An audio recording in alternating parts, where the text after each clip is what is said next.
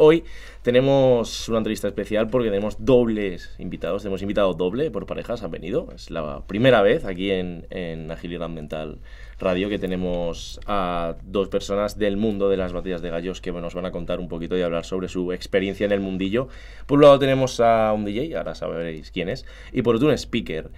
Eh, es la primera vez que hacemos esta combinación, no sé cómo saldrá, no sé cómo se llevarán entre ellos, no sé el tipo de relación que guardarán, ahora lo sabremos.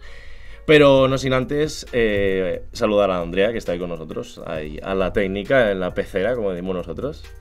Tenemos también a Alom. Muy buenas, Alom. Muy buenas, hoy aforo completo aquí, ¿eh? Hoy aforo completo, hoy por Estamos favor. hasta que- arriba. Hoy hay, calorcito, no sé si se respira hasta en YouTube. Se, se respira. La gente que está en su casa lo está agradeciendo y todo. Luego tenemos aquí a Mario. ¿Qué tal, Dani? ¿Qué tal, Mario? Bien. O sea, eh, bien, la verdad que con ganas de la entrevista de hoy joder. No estamos acostumbrados a estar dos o tres aquí dentro del estudio y hoy parece esto el metro no apunta.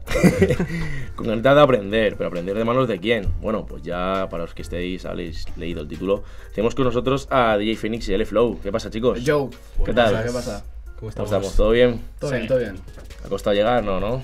Un poquillo, un Un poquillo. poquillo. Uno les ha pillado más retirados, ¿no? Sí, más o menos. Sobre todo Fénix, que viene bastante cargado hoy, y luego lo verán. Viene- Pero Y además venimos de las puntas contrarias de, de Madrid. Justo, yo- Representando. Madrid total. Yo soy la Sierra de Madrid y este. Yo desde luego cerca de ninguno, ¿eh? No, no. Ya, mancho. ¿Quiénes son DJ Phoenix y L Flow? ¿Quiénes son DJ Phoenix L Flow? Pues somos un DJ y un speaker, de, especialmente en calle. Y nada, pues nos desolvemos. Pues yo me desenvuelvo pegando gritos y, y moviendo a la gente en el parque. Y el, y el otro hombre, pues el que tengo aquí al lado, pues tú sabrás. dime. Pues nada, a ver, yo soy Fénix, eh, pero pues, podéis llamarme como queráis. Porque la verdad es que me han llamado de todas las maneras posibles. en- me han llamado Félix, me han llamado ese DJ de ahí, me han llamado E tú, eh, que eso es muy común. Y nada, básicamente soy un DJ de batallas. mm, Empecé en calle hace ya pues pf, muchos años. Pero ahora ya me he especializado un poquito, ya he dejado un poquito las batallas de calle, ¿no? como, como aquí el flow. Y ya pues, me meto un poquito más en escenario y O demás. sea, ¿Cómo llegáis en conjunto a esa conclusión de decir, bueno, pues me voy a aficionar a esto, me gusta esto? ¿De qué manera empiezan? Por hablaros un poquito de los comienzos. Pues yo empecé siendo jurado.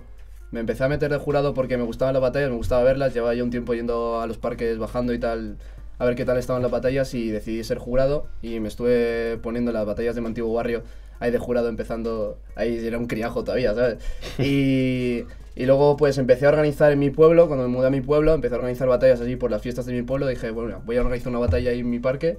Y, y nada, se llenó la gente, estuve organizando más batallas en mi, en, en lo- en mi parque de mi pueblo y nada. Al final pues bajé a organizar en Madrid con este hombre y, y al final decidí pues dejar de organizar porque era un poco saturado y dije pues mira, pues me voy a meter speaker porque cada vez que organizaba pues me ponía yo de speaker. Bueno, está bien, está bien el comienzo. Sí. Yo, a ver, yo empecé en las batallas en 2008 a ser DJ.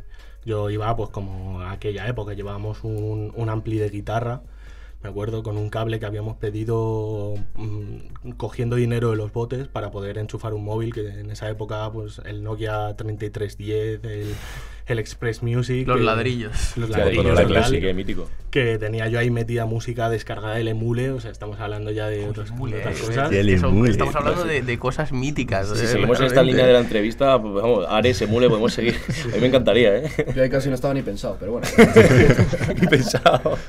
Y nada, y desde entonces pues he continuado un poquito, tuve unos años que estuve un poco más vacío y hace pues cosa de 4, 5, 5, 6 ya.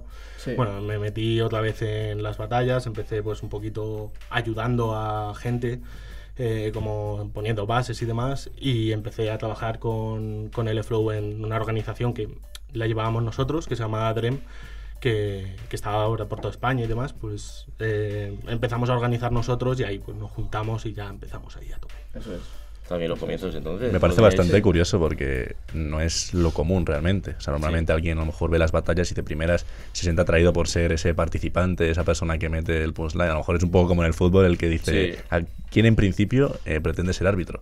¿Cómo fue esos inicios y alguna vez planteasteis también batallar o competir Claro. o, o siempre habéis tenido claro por dónde habéis querido tirar? Yo me presenté a una batalla y un rapero mítico de Madrid que se llama Ares, eh, ahí Oh. pues eh, llegó, rapeó él, me pegó, o sea, pegó un, pero un minutazo de cojones, mm, llegó la policía, nos paró, se metió en medio, nos dijo que no podíamos seguir, empezó a registrar a la gente y tal, y según se fueron, sin al final poner multas ni nada, me tocó rapear a mí por primera vez. Y dije, bueno, pues creo que... No es la mejor aquí. situación, ¿no? Claro. Rapeé, no dije, no, no rime ni una, y dije, bueno, pues creo que esto no es lo mío, me voy a poner a Bueno, otras pues me voy a dar yo una palmadita y me voy a poner a... Es tan hardcore Ares que va la policía en un momento. Sí, sí. Nada, a mí me pasó que los de mi pueblo pues siempre me están diciendo, oye, preséntate una batalla, no sé qué, batalla con nosotros, no sé qué. Así siempre me, quieren- me, me están metiendo cizaña siempre. Digo, oye, rapea, rapea, rapea, Leflu rapea, no sé qué. Ellos me pusieron el nombre de Leflu también. Y decía, y lo intento, no, no, no. Y al final no, que va.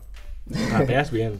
Sí, rapeo súper bien. Pues, a mí me ha enseñado un par de temas que no va a sacar, evidentemente, pues, Nah. porque es él, pero rapea muy bien. Nada, tonterías, tonterías. ¿Es complicado realmente el salto de, de la calle a la- a- al escenario?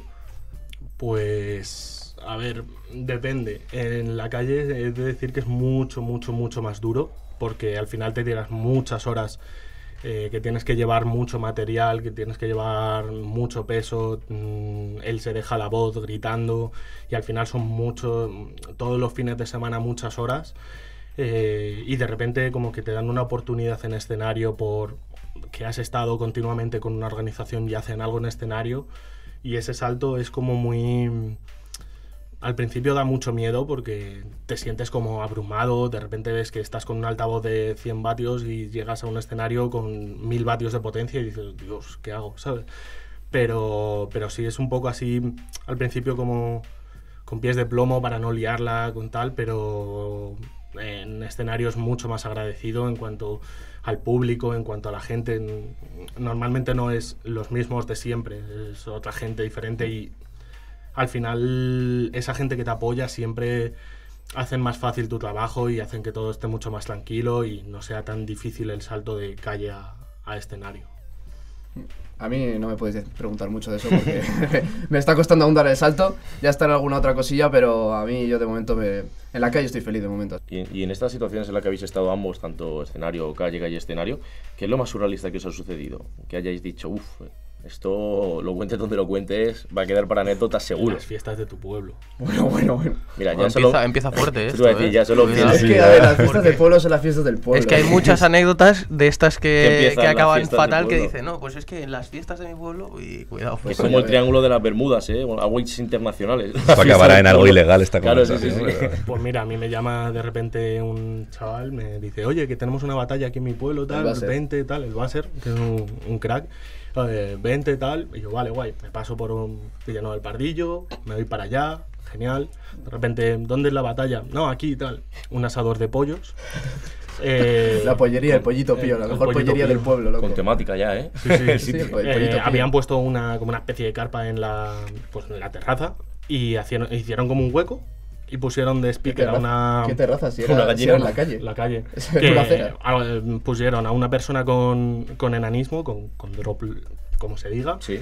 y eh, a otro tío que, que yo creo que estaba demasiado borracho como para existir. O sea, eran las fiestas del pueblo, creo que era tercer o cuarto día, llevaba ya un tiempo... una carga, una carga importante. Claro. Sí, sí. dale. De hecho, Eh, de los cinco jurados había solamente dos que eran de batallas, uno se durmió en medio de mientras le estaban rapeando. Ah, bueno, esto lo, lo- Eh, cada vez lo vemos más, sí, ¿no? Eso, hay cosas muy, muy hardcore. O yo que sé, en Andorra, por ejemplo, fui a Andorra y tuve que dormir en el suelo de una habitación eh, porque no nos dejaron en otro sitio y dormimos, dormimos en el suelo de la habitación con dos camas individuales, con dos personas en cada cama. eh, y al día siguiente teníamos la nacional y era como. ¿Qué hago aquí? ¿sabes? Con la ventana abierta porque hacía un calor de cojones. En Andorra era muy surrealista, muy surrealista. A mí me pasó que me fui a Valencia a una batalla que se hizo el día antes de la Internacional de FMS y fui de speaker ahí y nada, pues yo pensaba, pues bueno, a ver, yo llegué ese mismo día, el evento estuvo bien, estuvo muy guay, la verdad, me encantó, me lo pasé muy bien y a la hora de la noche, pues yo iba a ir a dormir a un, a un pueblo un poco apartado de, de Valencia y no sé qué pasó, que llegué a esa casa, había no sé qué movidas, que me tuve que ir y acabé durmiendo en un cajero. ¿Qué me dices? Sí, en un cajero. Se torció la cosa un poco, ¿eh? Sí, claro, encima estaba lloviendo que flipa, las típicas lluvias de Valencia estas. Y yo, guau, Oye, ¿qué hago? Y en cuanto a eventos, sí que es cierto que alguna vez, tras tantas horas de evento, os podéis encontrar de todo y a todo tipo de gente. ¿Alguna vez habéis tenido que lidiar, bueno, imagino que sí, con faltas de educación o público, que sea pesado, o que vaya en malas condiciones y pues el día y no sé qué, explique no sé qué, o con faltas de respeto? ¿Alguna vez habéis tenido que lidiar con situaciones complicadas? Yo no recuerdo, no recuerdo algo así, sino gente que no está en la batalla y aparece y hace alguna subnormalidad, sí, pero de gente dentro de las batallas que de repente salte y critique o que la líe por estar borracho, no. Sí, No, alguien del público, eso, cualquiera, no, o- no, no, no. A ver, yo en la Gold Battle del año pasado en la Nacional, eh, a ver, eso lo hacen en un escenario en las fiestas de, de Vicar, que hace un festival súper tocho, y además mm, actuaba Follone, que era como súper guay y tal, y de repente fue bajarnos del escenario y un señor se me quedó mirando y dice, tú no vales, y se fue, y me quedé con cara de... Tenía complejo de Risto Mejide, a lo mejor. Sí, sí, y me quedé con cara de... Pero que, Probablemente, probablemente por el tono de voz, igual no iba en su, Creo que no. en su mejor condición. Creo que no, pero bueno, fue, de- fue un momento divertido, pero. La principal figura de las batallas al final son los competidores. Entonces queremos preguntaros acerca de eh, cómo os tratan las organizaciones respecto a los competidores. Normalmente, cuanto más grande es la organización, menos se nota el salto. Y se nota cuando una organización crece o cuando una organización se lo toma en serio, porque no solamente cuida al MC que viene, que es el que pone la cara, sino cuida a todo el equipo detrás. Pues yo siempre digo que en las batallas el 50% son los MCs y el 50% son todo lo demás. Los jurados, el speaker, el DJ, los cámaras, toda la gente que hace, los técnicos de sonido, toda la gente que compone una batalla, porque al final, sin él que los presente, las batallas quedan vacías. Sin mí que pongo bases, no pueden rapear. Sin el técnico no habría vídeos, o sea, sin el cámara no habría vídeos. Sin las organizaciones no habría directamente las batallas. Entonces, cuanto más van creciendo, sí que se van dando cuenta de eso, pero cuanto más pequeñas son las organizaciones, más suelen dejar de lado a la figura del speaker y del DJ, que, que es un poco... Claro. Bueno, y también hay organizaciones y organizaciones. O sea, hay gente que se porta de 10 Sí. y hay gente que dice, bueno, pues ya te tengo a ti, pues búscate un poco la vida si a mí lo que me interesa es que estés en Sí. el evento, ¿sabes? Y que trabajes y Eh, yo que sé, a mí, por ejemplo, los de Batalla de Promesas de BDP, los que est- estos que son de Barcelona, me decían, oye, mira, te pago el viaje, te recojo en el aeropuerto, te llevo a comer a este sitio, no Claro sé que qué. lejos de contar con un mayor fondo no para pagarte, que se lo ocurran, que te va un Claro, chaval y claro, te va a ti a claro. buscar, ¿sabes? Que tampoco hace falta pagarte un Uber, un Cabify, un taxi, sino que puede ir Claro, a claro, sí, buscarte, sí, sí, claro, sí, de la propia te recojo al aeropuerto que está, es en Barcelona, el aeropuerto está a tomar por culo de, de la ciudad, eh, te recojo y te, encima te pago el metro, no sé qué, es que se portan de 10. Hay Mm. organizaciones y organizaciones y otros pues digo, mira, ¿eres speaker? Sí, vale, perfecto, te veo ahí. De hecho, como Freebeast aquí en Madrid, Ah, eso es que, que siempre, o sea, he trabajado dos veces con ellos y siempre han venido en coche a recogerme, siempre me han dejado otra vez en Sí, casa sí, con sí, todo sí, el sí. material, me han ayudado en todo siempre, siempre se lo ocurren con nosotros y, y gente así que se lo ocurra, pues es un gusto, Claro, ¿sabes? ¿necesitas bifrutas? Pues bifrutas. En el tema de diferenciar, porque mucha gente a lo mejor no diferencia todavía, sí que tiene la imagen de DJ en la cabeza, pero diferencias entre beatmaker y DJ y qué referentes en cada campo. Pues a ver, la diferencia más clara es que un DJ es el- la persona que la figura de la persona que pone la música, ya sea en este caso batallas o rap o que pone las bases o que en una discoteca te pone la música. Y beatmaker eh, es un ámbito más dentro del rap que es digamos la persona que se encarga de producir esas instrumentales, de crearlas de cero dentro de lo que tiene en su cabeza, pues lo va creando y crea ese ese ritmo que luego el, el DJ utiliza. Pero suelen ir de la mano, ¿no? O, A ver, o siempre que pueden ir de la mano. A ver, hay de todo, porque, por ejemplo, yo soy, bueno, ahora, desde septiembre soy beatmaker y, y he sido DJ durante muchos años. Hay gente como Sunshine, por ejemplo, que, que no era beatmaker, que era solamente DJ, y hay gente que, como Verse, que es las dos cosas. Y hay gente como Bagheera, por ejemplo, que solamente es beatmaker. Hay un poco de, de todo. O sea, va separado, pero sí que es verdad que como es el tema de sonido, como es el tema de música y demás, hay mucha gente que suele estar muy unido a eso. Y referentes, pues a mí me encanta Bagheera, me encanta... eh, hay un tío que es indonesio como beatmaker que se llama Riza Penjoel. Así como suena. Riza Penjoel, tal cual, con J. Es increíble. Además, sus beats son de uso libre. Pone 8 cada semana. O sea, es pues, una locura de tío. Y te puede poner una de rap, uno de mm, reggae, eh, te pone uno de nu metal, o sea, Cumbia trap. cumbia trap, o sea, hay de todo, de absolutamente todo, y la verdad es que mola mucho. Eh, lo he usado bastante como DJ. Y luego como DJ, pues como estoy muy metido en batalla, sí que es verdad que Verse, evidentemente, está ahí. O Sónico, o Zone, o Atenea. Pero mm, más allá de eso, hay muchos otros DJs que no tienen apenas referencias que, que tienen muchísimo nivel. Hay un chaval en, en ¿cómo se llama esto? En Getafe, que con el que he hablado alguna vez y tal, que se llama Oscar, que es como DJ es espectacular, o sea, me enseñó lo que hacía y dije, venga, ¿a dónde vas?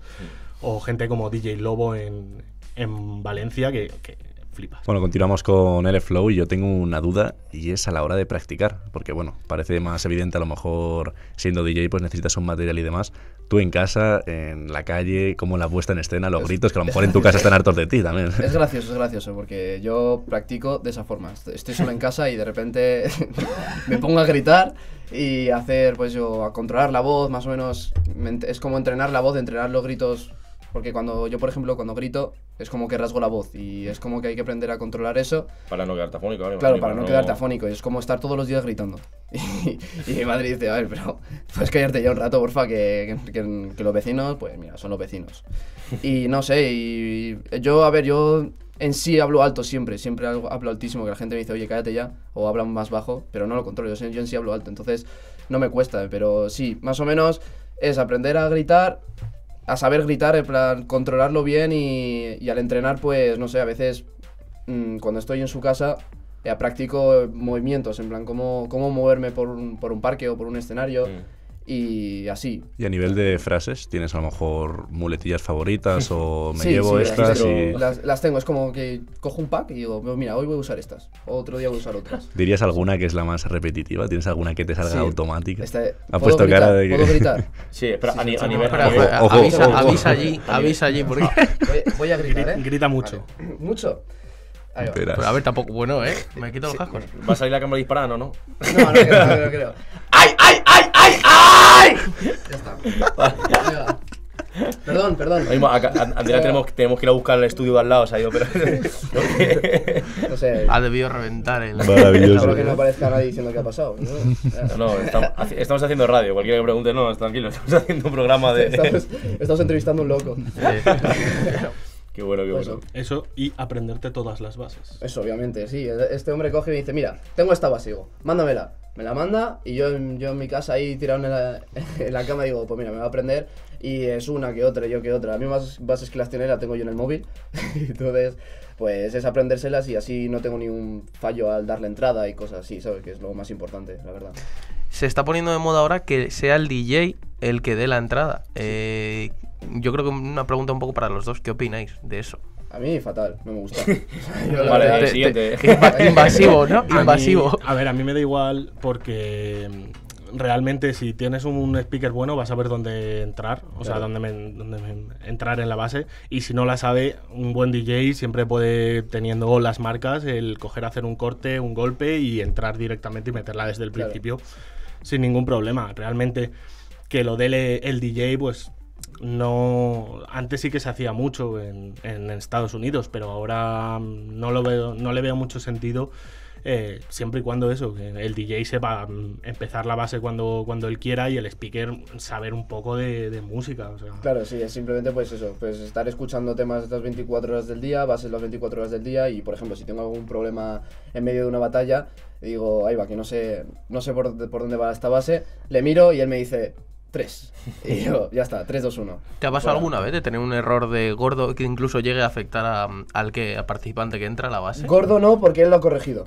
De verdad, pero que llega a tener una gente, que, o sea, una persona que está poniendo bases que no es DJ y digo, la he cagado, la he cagado, la he cagado. Y él me ha salvado el culo, lo reconozco. Sí, pero eso pasa una vez cada mil años. O sea, tampoco tengo un problema en, en dar el tiempo siempre. O sea, en cuatro eventos puedo dar el, el tiempo mal una vez, ¿sabes? O, o ni eso. y que al final las batallas son ritmos de 4x4 que si Claro, sabes es que no hay seguir un ritmo sí. un 2 3 4 vas contando y sabes dónde entra El, comp- el compás más, más básico de, de la música. Sí, Claro. que hasta gente que no esté muy metida en el mundo, a nada que eso, por ejemplo, si a tres o cuatro batallas, entiende ya la dinámica y cuándo tienes que meter el Claro, tres, y que ya, ya dos, de sí, sí. pequeñico, cuando, cuando- imagínate vas a clases de guitarra, te decían un, dos, tres, cuatro, así, y ya está. Y eso es lo mismo, lo mismo con las bases, es lo mismo, es un 4x4 sencillo, lo más básico de todo. Sí. Y Las luego- más difíciles suelen ser trap, pero con esas No, también ya siguen el mismo ritmo. Pero la- ¿sabes? claro, el trap tiene un sonidillo que se va repitiendo y dices, vale, este sonido está repitiendo, pero cambia justo cuando ha cambiado el patrón. Ahí. Claro, es aprenderse las bases, es con aprenderse las bases lo tienes. Y también se puede hacer cuesta arriba, por ejemplo, que tengáis, sobre todo para los hot, bueno, un, poquito para los dos, pero sobre todo para los host, eh, tener un mal día también, porque como tú te presentas teniendo un mal día, tenido un día de mierda, eh, ver, una es que- semana que lleva, y cómo, eh, cómo afrontas ese evento, porque al fin y al cabo tú, pese al día que tengas, tienes que animar el evento, tienes que Ya, animar a el ver, evento, si llevarlo, yo sí. día- días malos los tengo casi todos, pero, pero claro, ese- eso es el, el dif- el diferencial entre personaje y persona. O sea, si yo cuando Mm. estoy en una batalla soy el flow y luego cuando si fuera una batalla pues soy, soy Una Luis. persona que sí. Claro, entonces cuando soy el flow soy un, pe- un personaje que está siempre animado y que tiene que animar por narices porque es el speaker. Entonces, pues, no tengo problema, sé, sé enfocarlo. Es como me- cuando estoy en un parque, en una batalla, se me va la mente en blanco todo lo que tengo detrás de las batallas y es solo el flow, el flow speaker. Nada más. O sea que eres de los que eh, diferencia y dice, no, me pongo la máscara de Flow ahora y pase lo que Claro. pase, luego acaba el evento y Claro, y vuelvo a ser yo, claro. Vuelvo a mi zona y soy en, yo. Nuestro, en nuestro caso, por ejemplo, los personajes eh, son muy jodidos mantenerlo toda, toda la vida. O sea, tanto él como yo en las batallas somos súper activos. Mm, yo estoy poniendo bases bailando, haciendo que el público se levante, digamos, haciendo gestos todo el rato. Claro. Mantener eso en toda la vida, o sea, Claro, y yo yo- no, no me lo imagino. Y yo que, me, que no me quedo quieto ningún segundo y que estoy todo el rato gritando, que no es quedarme toda la batalla callado, no, no, estoy haciendo pellas todo el rato, estoy metiendo pellas siempre en todas las batallas y que no me paro de mover, pues eso hay que mantenerlo, ¿sabes? Si no lo mantienes es como que dejas de tener esa esencia que tenías tú. Y que lo puedes también usar para evadirte, que también puedes pensar, bueno, he tenido un mal día, pero al fin y al cabo voy a hacer lo que Claro, me gusta. a, mí, a- a mí me ha pasado, digo, tengo un evento así un poco tocho, pero he tenido un mal día, pues mira, pues voy a coger ese evento y lo voy a reventar. Sí. Y lo revento. Respecto al DJ, te intentas amoldar, si tienes un conocimiento sobre los participantes, que en muchas ocasiones a lo mejor no les conoces, pero intentas amoldarte respecto, esta base puede encajar bien con esta batalla. Estos dos van, tiran bien por este lado, el doble tempo, tal. Depende de la batalla. Porque hay batallas grandes, por ejemplo, yo que sé, en la Gold Battle Nacional o Internacional que he estado, o en batallas eh, como el Primavera Trompetera o, o esto, sí que es verdad que tenía las bases todas preparadas. Para que no hubiese problemas, siempre tenía pues todas las bases, más todas las réplicas y tenía bases de sobra por si acaso.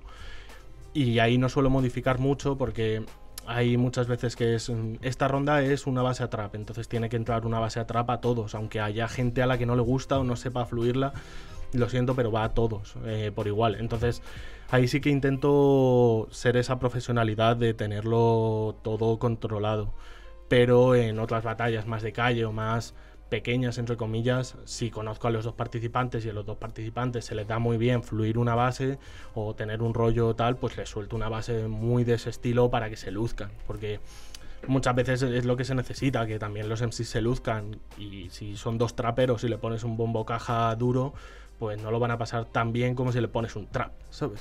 O yo que sé, o a SRK le pones una base que pueda fluirla como le apetezca. Y ¿Sabes? se- Pero siempre igualando que los dos estén a gusto, porque si es uno de trap y uno de bombo caja, pues ahí lo siento, pero. Menos igualas en una ronda y el Claro, otro dice, Eso, bueno, eso te iba a decir, que hasta Claro. qué punto crees que puedes favorecer o, o por el, o el caso contrario, desfavorecer a alguien en una batalla si pones una base más acorde a uno que a otro. No, puedes hacerlo totalmente. O sea, una persona que, que sepa mm, fluir trap muy bien, le toca contra una persona que no sabe fluirlo bien, le pones un trap, le has matado. No sé si fue Mark es una vez que se bajó del escenario Sí. porque hubo un contra RC, si no me Sí, equivoco, puede sí, ser, sí. que era una base de trap y dijo, Y yo he tenido bases en las que tenía, o sea, batallas en las que tenía todas las bases preparadas y de repente eh, le ha tocado una base de trap en semifinales a una persona que no sabía fluirla.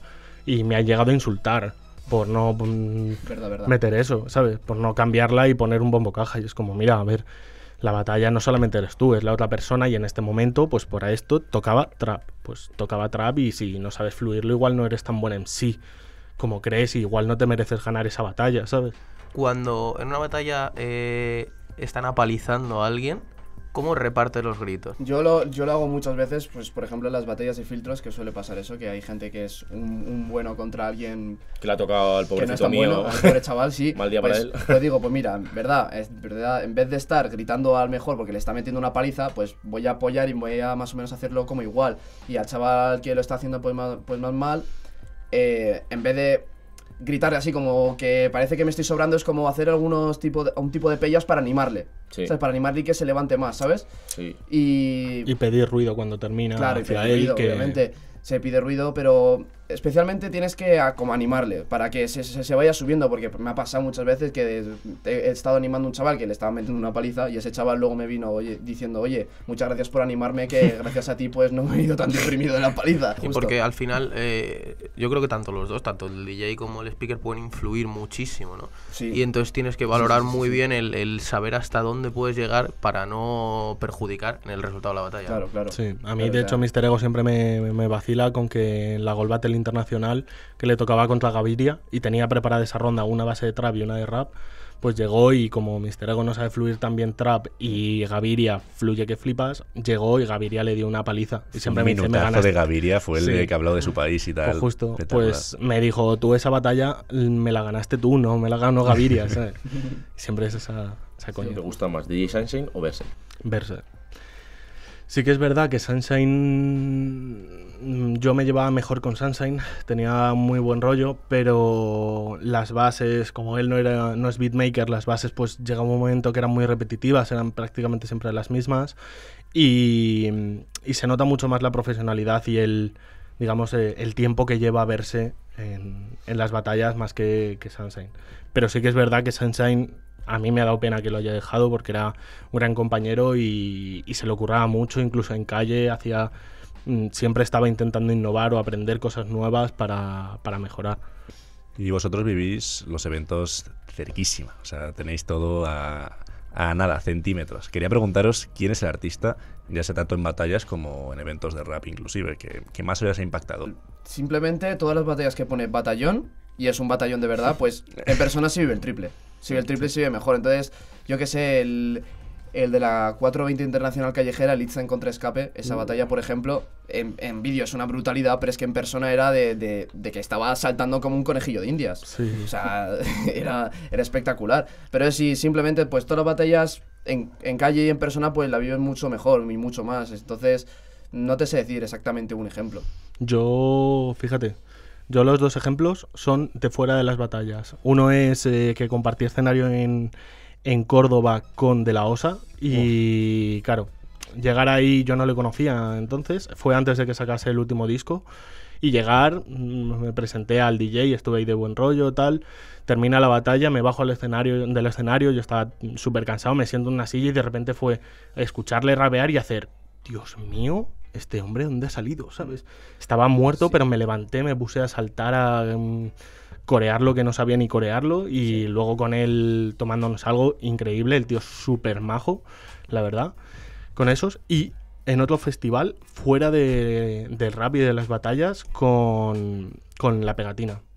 Estuve con Nikone dando en un par de festivales y justo antes actuaba Pega- la pegatina y diciéndonos que subiésemos al escenario, luego se quedaron animando, buah, no, no nos montamos También una con fiesta. Nikone, por- que no es poca cosa. Que Nikone que no es poca cosa. O sea, que- aquí diciendo nombres sobre la mesa, no, no, la verdad Ah, que... que No, no, con la verdad es que Casi con- nada. No, no, sí conocéis. Con sí. Bueno, yo encuentro, si es tema, el, te- el tema de artistas de, de temas y tal, pues en- me gocé muchísimo en directo ver a, a Socio Ejecutor. Ese hombre, eso, es- es- es- esos dos señores, eh, el Celedonio y el Sally Monkey, en directo tienen un directazo, pero un directazo, o sea, son, son brutales. Y no te sabría decir, en, en batallas una persona que impresiona mucho por su forma de rapear es Classic, en personas como súper impactante, te mete el palo y se queda a gusto, es brutal. Luego preguntitas que nos llegan desde Twitter, como algo que está muy a flor de piel, que es el panorama actual y qué cambiaríais. El apoyo. El apoyo tanto de las organizaciones a todo el mundo como de la propia gente a la gente que crece.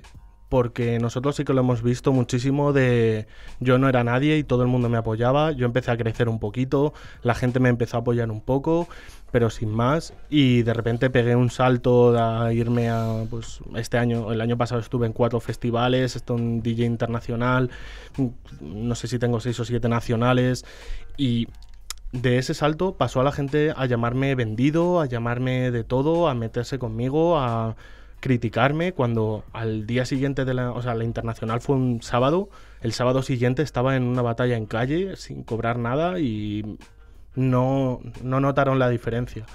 Pero yo sí que notaba esa diferencia de gente que antes me apoyaba porque creía que no era nadie, mm, ahora mm, soy un cabrón, soy lo que sea.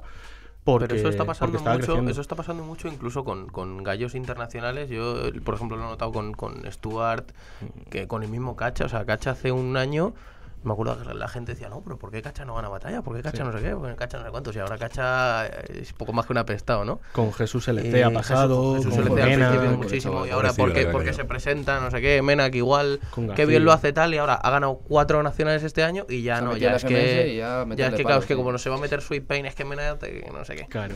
Entonces, pues así pasa, mucho, ¿no? siempre en cuanto creces un poco y esa toxicidad de, de ir, digamos, buscándole siempre, eh, esta persona ha hecho esto que no me gusta, ya lo voy a magnificar y va a ser el, eh, podrido el resto de su vida. ¿Sabes? Que no eres capaz ni de fallar la mínima porque ya te van a buscar la vuelta y te van a criticar y ya mm, no te llaman, te quitan de eventos y tal por Lo gilipolleces. conozco muy bien eso, lo conozco muy bien. Pues, pues, entonces, por un lado, destacamos el apoyo, lo que cambiaríamos, y por otro lado, Pues Flow. por otro lado, pues yo sí pondría eh, que a destacar el tema de que no haya tantas batallas en todos los fines. Eso que en Madrid, pues, joder, tú te metes en Daily Rap y ves cinco batallas el mismo fin de, el mismo día, y casi en, en el parque de al lado, casi, o Sí. sea, una locura. Y que, mm, y que haya más organizaciones que se lo tomen en serio, que eso falta muchísimo. La o sea, profesionalidad. La profesionalidad, eso sí, o sea, eh, que sí, que una batalla se suele pasarlo bien y, y tú vas a divertirte, pero hay gente que quiere trabajar o se quiere buscar un futuro en las batallas y quiere vivir de ello, cobrar y ganarse dinerillo, ¿sabes? ¿Y qué, qué se busca? Pues ser profesional como en cualquier otro trabajo. Entonces, Y como comentábamos antes, eh, dos labores muy infravaloradas las que realizáis. Pero, ¿cuál más? ¿Cuál es la que más desapercibida puede pasar? Y no os peleéis, ¿eh? En plan, la Está- mía más, estaría guay, la en mía plan, más. una Yo discusión. creo que Cámara. host más. cámara, Cámara. cámara. También, Pero desde, to- totalmente de acuerdo, Sin pero entre duda. vos- Entre las dos vuestras. Yo creo que, a ver, es que cada uno tiene lo suyo, porque sí que es verdad que la parte de DJ lleva mucho más técnico, eh, mucho más horas de ensayar, material más caro para el caso que se le hace, pero se le hace menos caso al speaker. Claro. Entonces, Es más o menos mm, un DJ tiene que tener mucho trabajo por detrás, pero luego un speaker el día del evento es el que tiene que explotarse al máximo. y es la cara visible. Y es la cara visible de todo el evento, porque el DJ pues sí está poniendo las bases y tú escuchas las bases y tal, pero está en un fondo. Incluso a Sí. a veces le han hecho la putada que ni salen los vídeos. Pero bueno, el- el- en sí es él por el trabajo de detrás que tiene, el tema, el tema de llevar toda la maquinaria en buses, con un carrito de, de- de la compra de, de mi abuela y algo así, ¿sabes? O, Lo que la gente no ve. Claro, lo que la Sí. gente no ve y, y luego el speaker, pues el aparecer en el parque y tener que estar dejándose la voz desde el primer filtro hasta la final, que son 5 horas, 6 horas gritando con 20 participantes o con 140. Tiene que ser igual. El más infravalorado es el host y ya está. Bueno, no sé. Eso que lo decía la organización. Eso que venga la organización y diga. No es a ver, pregunta para nosotros. comuni- comunicado oficial, el más infravalorado. A ver, págame o sea, los- Sí, eso es verdad, a los speakers le pagan mucho menos, sí. Pues hasta aquí lo que es el apartado de, de la entrevista. Así que vamos a ir ahora a otro apartado, una segunda parte del programita de hoy. Ahora diremos de qué trata. Así A que dar nada, unas clases, A ¿no? dar unas clases, Unas un- clases. unos tics para, para mejorar o, el- o lo que no se ve, también otra parte de lo que no se ve de la labor de DJ y quizá la podamos compaginar por- con la labor de host. Le dejamos gritar a, Oh, a L-Flow. Oh. Oye, Si, no nos revienta los oídos. No, revienta, eh. Vamos a ver cómo Andrea conseguimos cómo es de factible con Andrea. Y- Creo que si te vas al estudio al lado te oyen igual, ¿eh? Creo que, no, sea, Probablemente, creo que probablemente. no ha gustado mucho la idea. Porque a ver, Andrea, yo creo que se va a escuchar bien todo, así que te puedes quitar la boca, ¿eh? Así que ahora volvemos en un ratito aquí en Agilidad Mental Radio.